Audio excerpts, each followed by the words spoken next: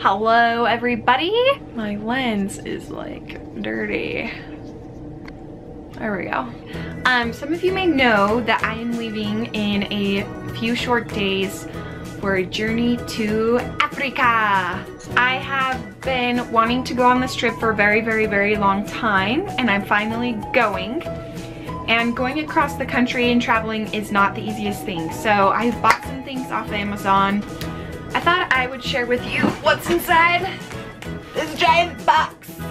So the first thing when it comes to traveling is having a trusty travel pillow. I have bought this puppy, and trust me, she wasn't cheap.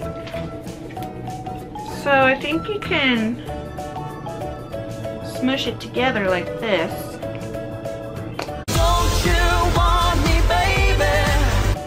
And then it just kind of squishes all of your face fat and like your neck rolls so that you can sleep on yourself.